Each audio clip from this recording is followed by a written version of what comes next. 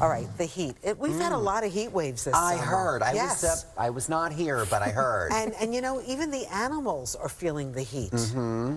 But well, they're wearing fur. yeah, yeah, you're right. But there is a certain technique that originated in squirrels that Hmm. maybe you should think about, Carson. We can always learn from the squirrels. You know, Bianca's here. She's an animal lover.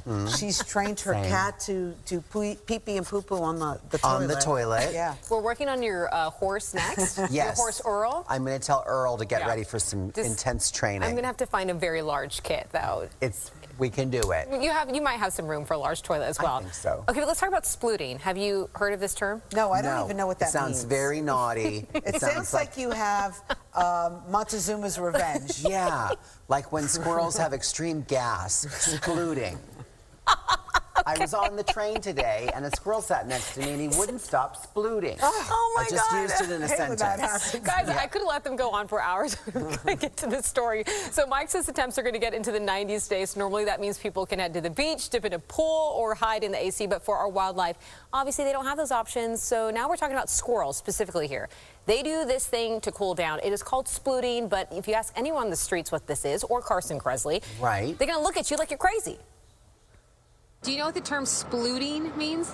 What is it? Have you heard of the term splooting? No, never. never. Can you spell it for me? So splooting is a colloquial term used to identify that position that squirrels and other mammals, including humans, will do when they're stretching out flat on uh, the, the ground. The NYC Parks Department took to Twitter to post a squirrel mid-sploot, and it caused quite the funny stir on social media. The term is still trying to be understood. I want to say it's like like like a, a, another form of like spooning, like cuddling. With recent heat waves in the city, many took pics of the squirrels in this funny position and posted to social media. This is a, a very common adaptation in the heat for the squirrel, so we just let them be, watch them from afar, definitely take pictures, take videos. Do you have something to say about that, about the heat? They're saying more nuts, please. More nuts. Or avocados if you're a celebrity squirrel on Instagram. Meet Thumbelina. She's one of almost 30 squirrels that have been raised by wildlife rehabilitators Christina and Michael over the years right outside of the city. She loves to play.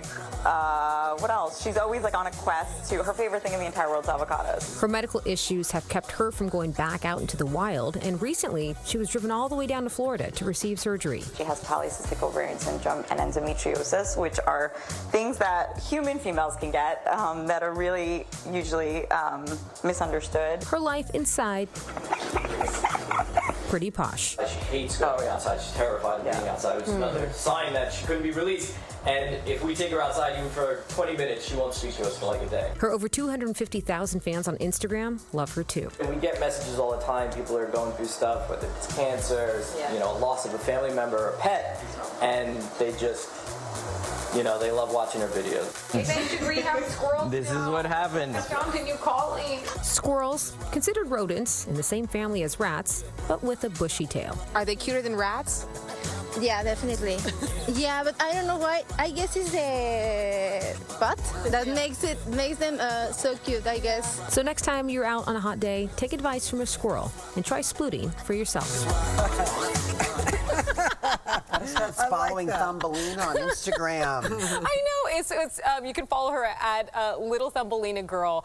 Also, you have to we have to just say that you know it's never out of the option to release her back into the wild. But this girl's got a lot of issues. Thumbelina's got a lot of medical problems. A hysterectomy, endometriosis.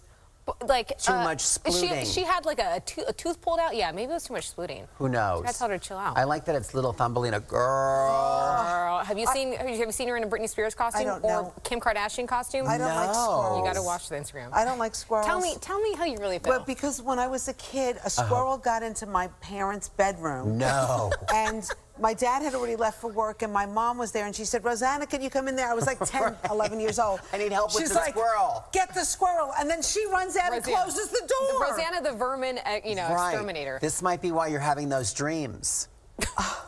Anyways, I, I heard we have of to like issues. carry Yeah. the show on because we're running out of time. So you take it away. Uh, anyway, okay, splooting squirrels who Yeah. may be spooning like- squirrels as Like well. that. Right. I got you. I got you. Spooning. It's so There you go. educational, this program. It is. Hey, listen, you know where we're going next? Uh, no, where? The island of Jamaica. Mon. We're celebrating 60 years of independence.